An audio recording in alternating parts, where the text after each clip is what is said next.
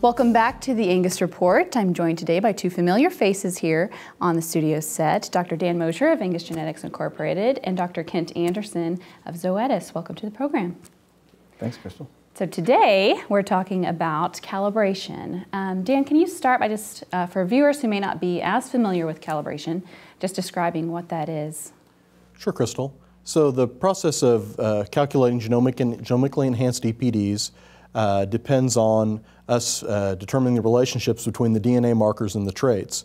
And so uh, every 18 months or so, we've gone back and re-estimated those marker effects uh, so that we have the most current and most accurate information uh, to know which markers are predicting uh, higher or lower levels of the various traits in the genomically enhanced EPDs. The last calibration was released in September 2014, and so now about 18 months later, in, here in April, we're releasing uh, the newest calibration.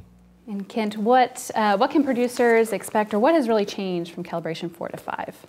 Well, I think one of the key takeaways, Crystal, is that the value of testing and genomic enhanced EPDs from Dan's weekly genetic evaluation just continues to grow.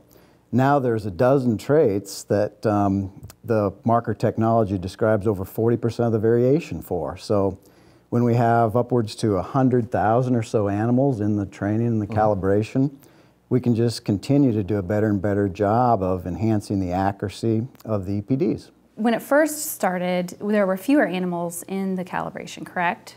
Versus yes. today?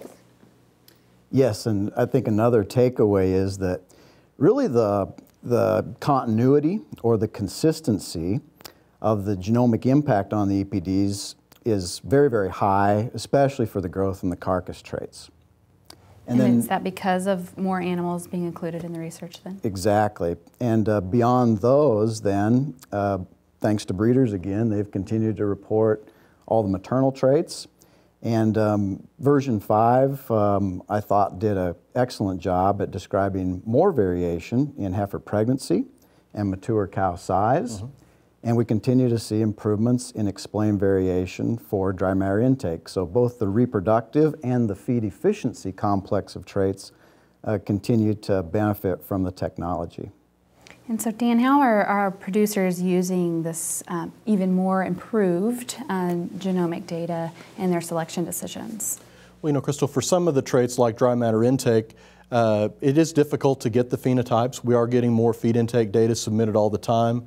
But, but nonetheless, most Angus cattle don't have that trait measured. Nonetheless, with the genomic test, we are able to improve that trait uh, through genomic selection, and as a result, the breed is making progress for reduced feed intake while maintaining performance. So having a genomic prediction of that hard-to-measure trait is really beneficial to the breed. Uh, for traits like heifer pregnancy, you know, that uh, we're getting a lot more of those records now turned in, and so that's why we've seen the increased uh, power of the genomic prediction for heifer pregnancy. And again, that's a trait that's very important to commercial cattle producers. And so having a more accurate heifer pregnancy EPD based on genomics as well as the data that we've received will ultimately help producers pick the right bulls for their operation. Well, that's all the time we have today. Thank you both for joining us. If you would like to learn more about Calibration 5 or the Genomic Enhanced EPDs, along with genomic prediction tools, visit angus.org or zoetis.com. We'll be back after this.